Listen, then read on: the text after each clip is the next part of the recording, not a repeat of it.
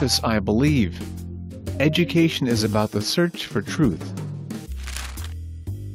Education has the power to transform us and literacy is key to that transformation as we experience and interpret various media then move on to respond to and create our own.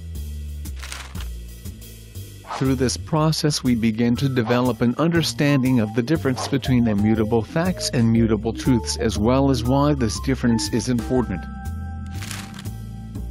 but it is the humanities that signal our true metamorphosis as we move from passive to interactive appreciation and we learn more about ourselves and our world as well as those with which we share it. Developing empathy and understanding as we experience and reflect on those experiences. Learning and growing from the process. I believe education is about the search for truth and learning to appreciate that sometimes the truth is wobbly. And that is okay.